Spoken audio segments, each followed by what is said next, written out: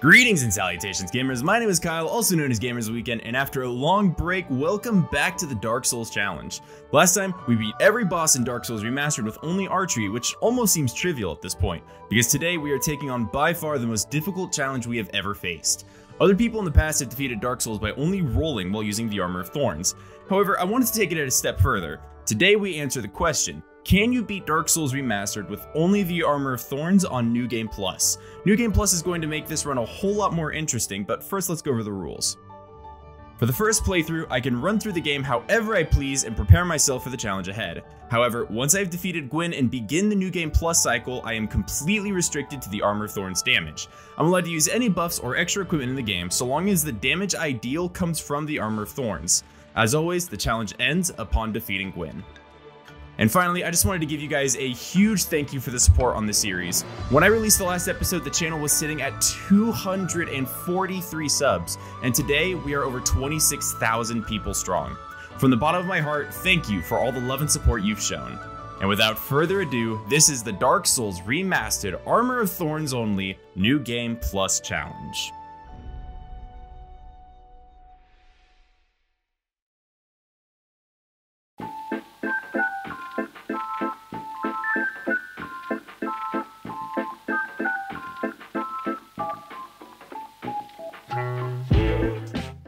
Alright, we've got a lot to actually go over. I'm not getting ready for some casual challenge, this is going to be a Dark Souls marathon we're preparing for. Just to give you an idea, the average time it took to kill a boss in this run was 22 and a half minutes, and that's not including the unsuccessful attempts. So we need to make sure we are properly geared up for this challenge, otherwise we're going to get absolutely steamrolled. We name the character Joestar because I only know my secret technique of running away and get started on our run of prep. First things first, let's actually talk about getting the Armor of Thorns. Unlike the barbed sword or spiked shield, Kirk doesn't actually drop the armor. Instead, you have to fight his invading spear in the depths, the demon ruins, and the lost Izalith. Once that's done, we can pick up his armor next to the Daughter of Chaos bonfire. The Armor of Thorns does an extremely low amount of damage this run, and to make matters worse, there's no real way to actually increase the damage output. The damage dealt by Thorns is only increased by the amount of armor we wear, and even with a full set of armor, we do on average about 15 damage per roll. If that sounds like a fun time to you, then let's put this into perspective. My beginning hand axe with a soul level 1 pyromancer does 62 damage per swing. In other words, an axe with zero upgrades at base level does over 4 times the damage I do in one roll. New Game Plus health bars can get to be above 10,000 health. Oh boy is this gonna be fun. Looking at the armor's resistances, they aren't exactly ideal. The physical resistance is actually fairly good, and it's got fairly average fire resistance. However, the magic and lightning resistances are somewhat lacking. That's gonna hurt later on. Don't forget either that in Dark Souls, dodging damage exists. When a creature in Dark Souls is considered dodging, they take 40% increased damage. In Pyromancy only, we took advantage of this to kill the Taurus Demon early. However, this time we're going to be spending most of our time rolling, which means that most of the time we'll be at risk of taking massive counter damage. It doesn't help that the armor counts as a unique set, so the highest it will go on the upgrade path is plus 5. We can get the Twinkling Titanite by buying it from the Giant Blacksmith for about 8,000 souls apiece. Thankfully, we're already going to be doing a ton of soul farming, so 320,000 souls won't be an awfully huge amount. It should also be noted that the Armor of Thorns is fairly heavy as well, so we'll need some pretty large equipment load if we want to be able to fast roll and have some extra equipment on us. About an hour and a half of soul farming gets us enough souls to put our endurance comfortably at 53, which can be put in combination with Havel's Ring in order to give us the ability to fast roll with a little bit of wiggle room. I'm going to avoid using the Ring of Favor and Protection so I can use my second ring slot to have rings more adaptable to the situation. The three stone plate rings are going to be extremely useful to block extra elemental damage, and the Ring of Steel Protection is going to be essential for drawn out brawls to increase our physical defense. Later on, we can also get our hands on the Curse Bite ring to help out with Seath, and there will be some more special rings later on that will help us in these situations. Two rings that sound like they could be good but are actually not as great are the Chloranthy ring and the Darkwood Grain ring. Chloranthy ring for extra stamina regen sounds like it could be amazing, but it can be easily substituted with the green herbs bought from the Crestfallen Merchant. Darkwood Grain Ring gives us the longer Ninja Flip, but hitboxes in this game are already weird with thorns and the Ninja Flip doesn't exactly help. Also, sometimes we want to stick to a boss, and the Ninja Flip Ring can make it more difficult. I did use it once or twice, but overall, I decided it's not really worth the extra ring slot. For our hand slots, there will be two shields that I will have on for their passive effects, the Grass Crest Shield and Sanctus.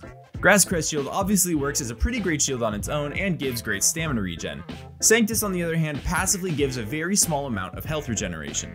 Speaking of healing, we're also going to get our Estus Flask fully upgraded and get a hold of two different miracles. Regeneration and Bountiful Sunlight are miracles that will both give us more health regeneration during fights, with Bountiful Sunlight being slightly more powerful than Regeneration. Thankfully, the healing amount on both miracles is fixed no matter what the catalyst, so just the basic talisman will suffice. I should also note that after a ton of farming, I could just technically max out all of my levels. While this technically would be ideal, I think it takes away from the challenge aspect of the run. I don't want to just superpower through these bosses with a maxed out character, I want to actually win with a normal build. So I decided that I would get my stats to a relatively high level, and then continue to level up as I proceeded through the challenge section of the run. After testing out my damage on some normal enemies in my prep run, I'm not exactly confident about this challenge. The damage is absolutely abysmal and there's no way to make it better. Not to mention that the hitbox on the armor is fairly small, so we're going to have trouble even hitting some of the bosses. But unlike other runs, there's practically nothing we can do to change things up. These rolls are all we have, so there's nothing else we can really say or do other than prepare for the struggle of a lifetime. And with preparations complete, it's time to finish off Gwyn and begin the real challenge.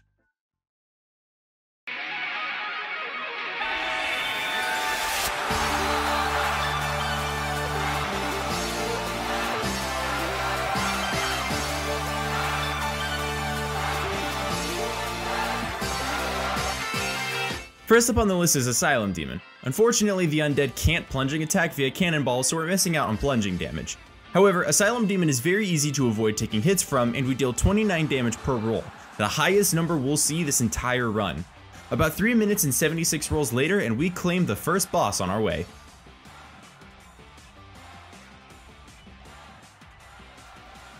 Next up is the Taurus Demon, and his attacks aren't too bad to dodge, although some of his attacks do track very aggressively. Normally this fight would have taken about 138 rolls to kill completely, but somehow the bull creature gets stuck up on the wall and ends up killing itself just over halfway through the fight. The gargoyles were the first truly tricky fight of the run. I've said it in the past, but any slow fight that involves more than one creature is going to be exponentially more difficult than normal. Thankfully, the second gargoyle enters the fray with a bit less health than the first one, and their attacks aren't too tricky to avoid either. The real goal here is to kite them back and forth and roll through their attacks to deal as much damage as possible. 218 rolls later and we finish the gargoyles in 9 minutes flat. I decided that the next boss on my list is Quelaag, and if you thought shields only was painful, then let me tell you, this is way worse. Quelaag's health pool in New Game Plus sits at just about 6,028 health. We deal about 13 damage per roll.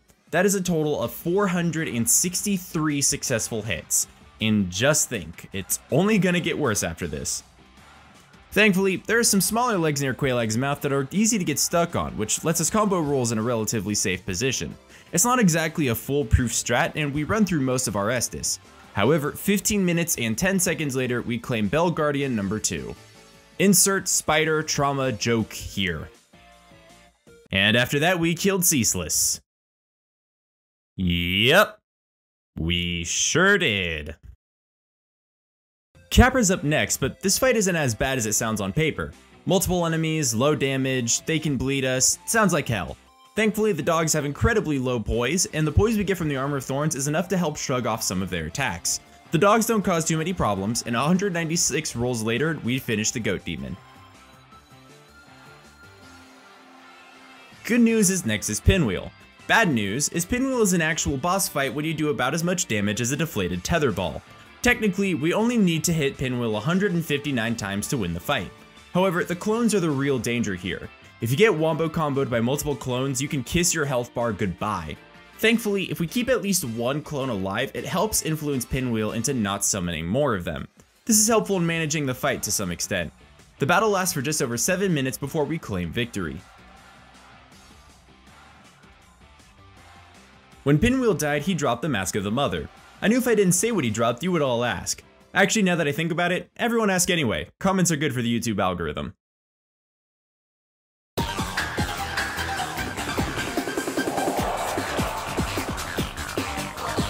It's time for the mid-game fights, and the boss timers are only going to get longer from here on out. First up is Sword Doggo, and this is going to be a long one. In New Game Plus, her sword does some pretty hefty damage, so we need to be careful not to get hit, especially with the spin attack. Thankfully, the spin attack is her double-edged sword, both the most dangerous attack to get hit by, and the best one for us to see. It leaves her open to get some extra damage rolls in. About 17 minutes and 415 rolls later, we claim the victory on our first attempt.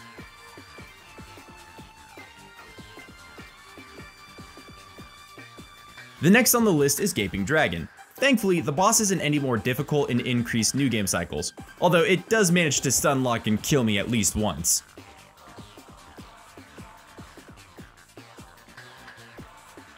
Our successful attempt goes on for just shy of 21 and a half minutes before we land the killing blow on roll 498. Come on! Surrender to me, fiend! Yes! I am I have reached glorious victory! Iron Golem may have been slightly shorter than Gaping Dragon, but it certainly felt like an eternity.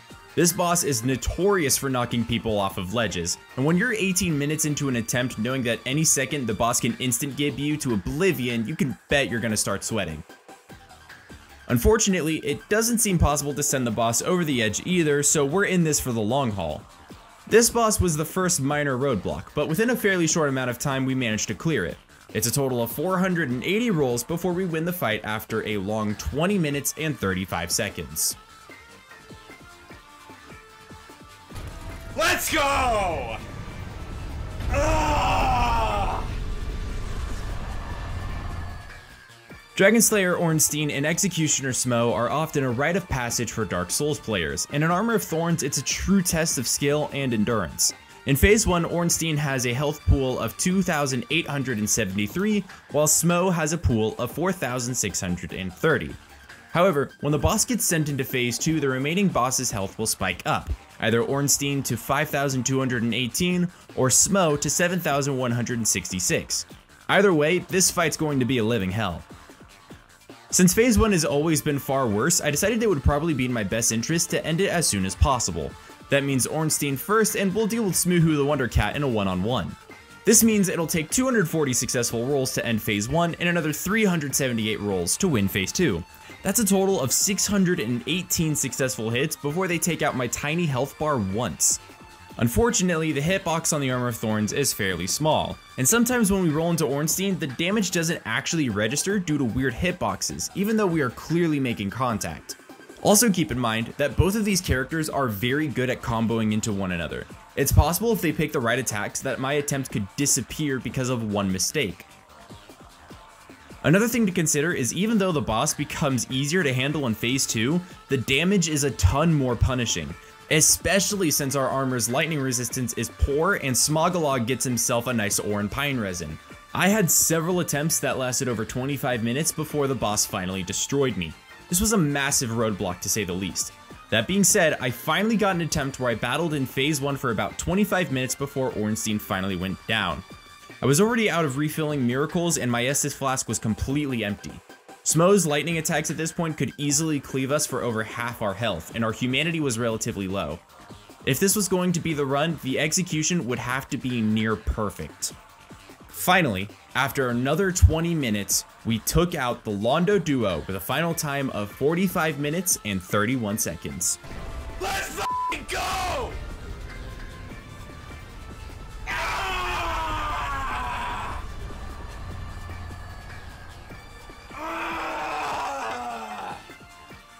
Our victory was somewhat short-lived as we attempted to take on the Moonlight Butterfly.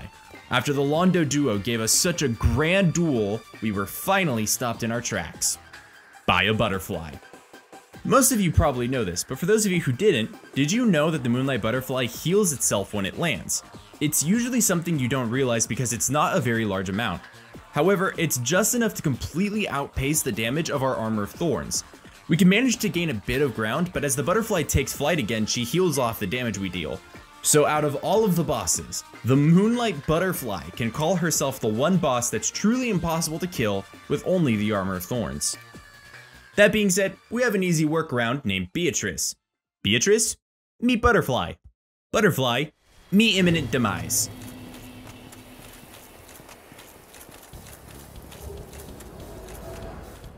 Thankfully, we can avoid complex super bosses and unkillable butterflies for a while because it's time for the Stray Demon. This boss in any run is practically free due to how easy it is to exploit his RNG. He is rather tanky, but to be honest, I would rather be stuck in here with him rather than one of the four Lord Souls. We spend the next 17 and a half minutes rolling into him 550 times before he submits. Of all the Lord Souls for us to go after, Bed of Chaos will be by far the easiest, so let's start up the Izalith boss gauntlet. Demon Fire Sage is a vaguely more annoying version of the Stray Demon with his added mobility and slightly more varied moveset. That being said, he's only beefier than his Asylum counterpart by a small margin. After 18 and a half minutes, we roll into him 582 times for the kill. Centipede Demon is next, and it definitely took some adjusting to get used to his weird patterns. Eventually though, we figure out his weird stomping and jumping, but he runs us completely out of Estus. He ends up cutting into our humanity reserves, but 21 minutes and 393 rolls later and we send a report to Bugsplat.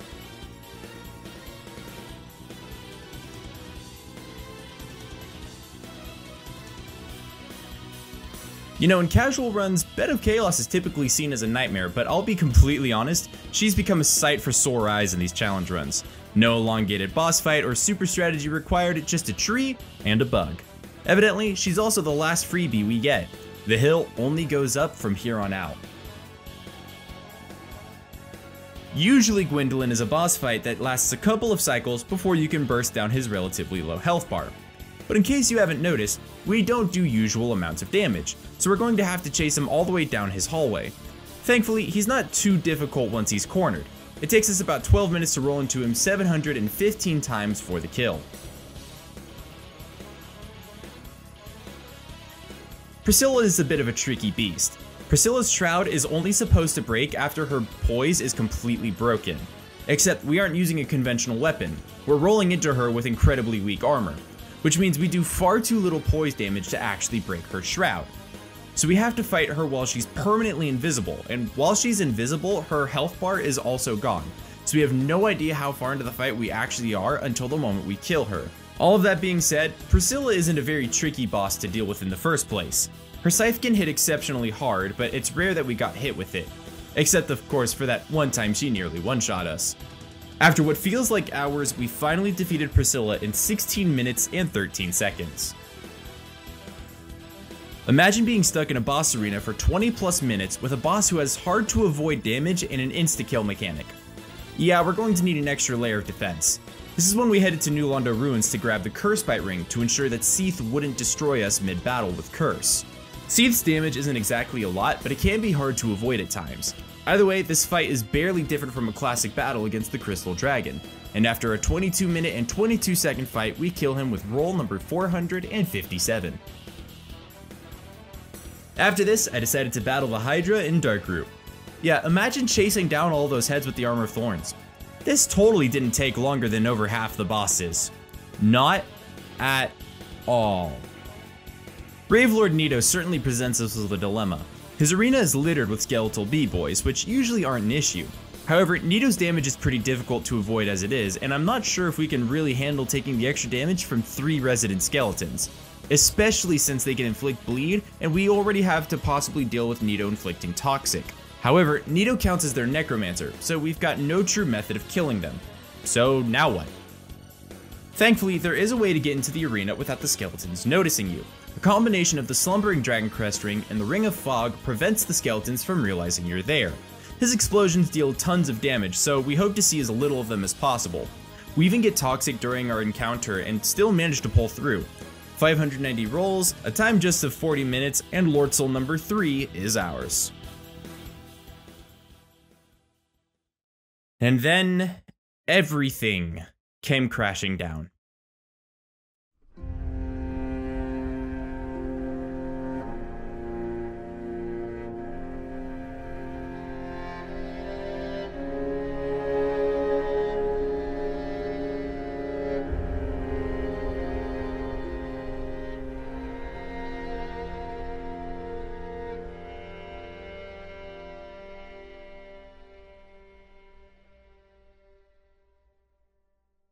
The Four Kings. To call this a roadblock would be an understatement. They are an absolute wall in our run. What happens when we meet a DPS check with our Armor of Thorns? Hell. Hell happens. The Four Kings boast the most HP of any boss in New Game Plus, with over 16,000 health points. With our 13 damage per roll, it's going to take 1,236 rolls in order to actually defeat them. The normal in-game balance to Four Kings is you're supposed to be able to kill them as they appear, hence making it a DPS test. We are currently an angry Beyblading Porcupine. Normal damage circumstances do not apply to us. When more than one king spawns, you are at the absolute mercy of RNGesus. Especially in the remastered version, the kings can absolutely destroy you whilst you're off screen. They can spam unavoidable magic attacks, sweet spot you with sword swings, grab you, stab you, or randomly explode on you. Not even to mention that their damage increases significantly into the New Game Plus cycle, and it can still get worse. Remember the hitbox problem we had with Ornstein? It also applies to the Four Kings, making it not even a guarantee that you'll be able to hit them with every roll. I tried for hours on this boss and at multiple points throughout the run, but eventually they ate away at my will to keep going on this run. These kings, these dark wraiths, this boss is what constantly loomed over me the entire run and I wasn't sure how I was going to do it. There's just a different feeling about this boss than the others. The Londo Bros were absurdly difficult, don't get me wrong, but they always felt doable. Not possible, but doable. The Kings, on the other hand, they felt like a wall.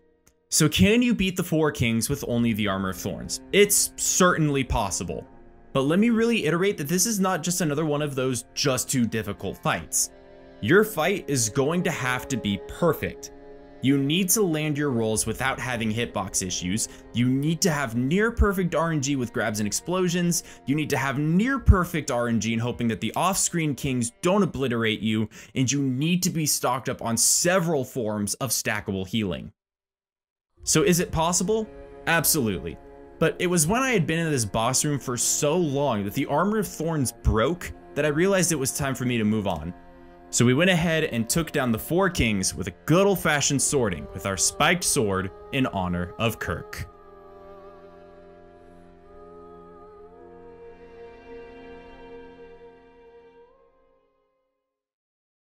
Well, since the four kings proved to be a bit too much for me, I guess I'll just have to replace the four of them with four other bosses.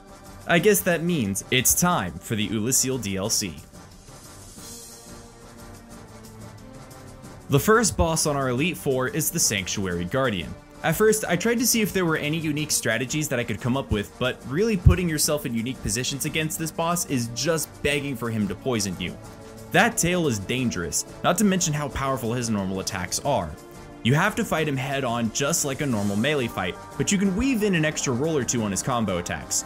310 rolls and 26 minutes of combat nets us our victory on the first DLC boss. Sit down! Sit down! Things are not getting any easier. There are no tricky tank strats here, and there are no workarounds. Artorias is going to just be an elongated duel, sword versus thorn, one versus one. He can also essentially buff for free since we don't have nearly enough poise damage to actually stagger him to break the animation. It took a couple of tries, but eventually Artorias met his match. Just under 38 minutes of continuous Artorias combat and 368 successful rolls gives us our victory over the Abyss Walker. Sit down! Sit down!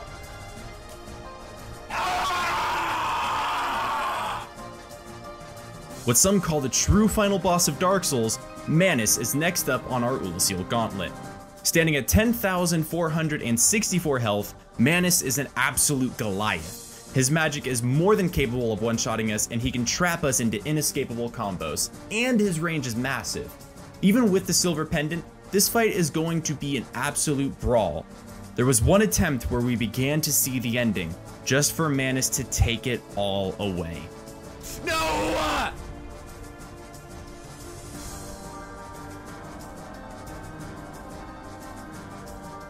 But in the very next try, Manus took the record of the longest boss fight in the entire run as I took the victory. It takes 805 rolls for us to finally defeat the Father of the Abyss after 46 minutes and 49 seconds. Let's fucking go! Ah! Ah! Just a little fun fact to put that time into context, as of recording this video, the current world record for the any percent glitchless speedrun of Dark Souls Remastered is 48 minutes and 16 seconds. I beat Manus in just under a minute and a half faster than it takes the glitchless world record to beat the game. That's how long some of these bosses are taking. But with Manus finally down, we only have two bosses left to go. Kalameet was definitely one of the bosses that I feared this run. He has crazy resistances, so much that he is tied for the least amount of damage per roll with Iron Golem, does crazy damage, and his hitboxes are insane. It would take something just short of a miracle to beat him. Normally. But during one of my attempts, I noticed something weird about the fight. Kalameet has a way to respond in front of himself and behind him, as well as attacks he can choose to use when you get underneath him. But what about his sides? It turns out that Kalameet has no attack programmed to respond while you're just to the side of him, and so he'll turn to face you. Hence, you can create a small AI loop by maintaining your position at his side while he turns. It's not easy to keep yourself in the right position, but when done right, you can lock Kalameet into not attacking for several seconds. Using this loop makes the dragon fight way easier than before, and it's exactly the tool we need to defeat him. It takes us just under 32 minutes and 771 rolls, but eventually we slay the Black Dragon. Let's go!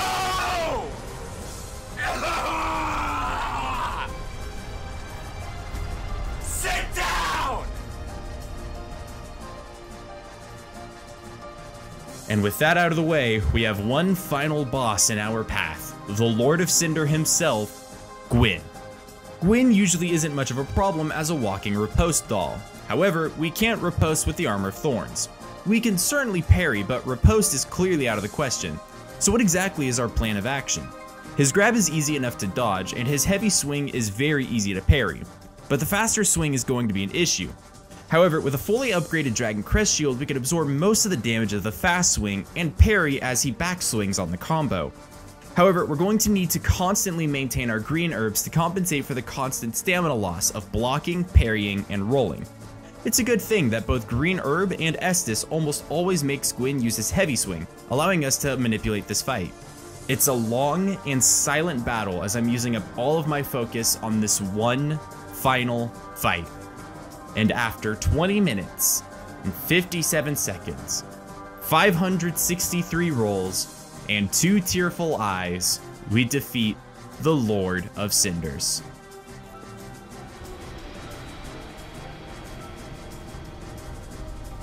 And with that victory, we have beaten almost everything in Dark Souls Remastered on New Game Plus using only the Armor of Thorns.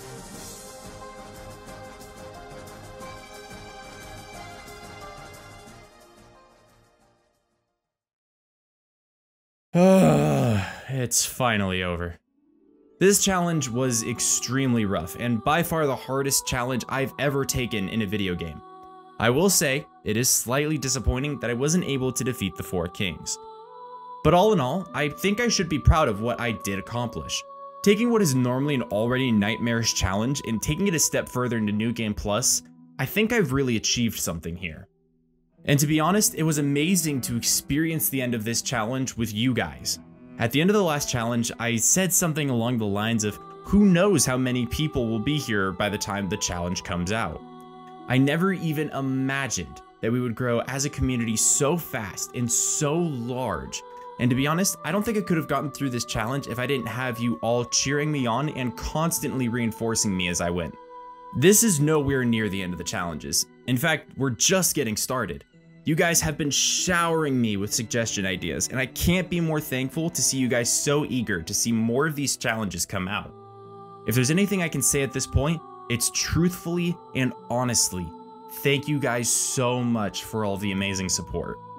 But as one challenge comes to an end, a new one must begin. I haven't decided what I'm doing next, but I've got some really cool and crazy ideas.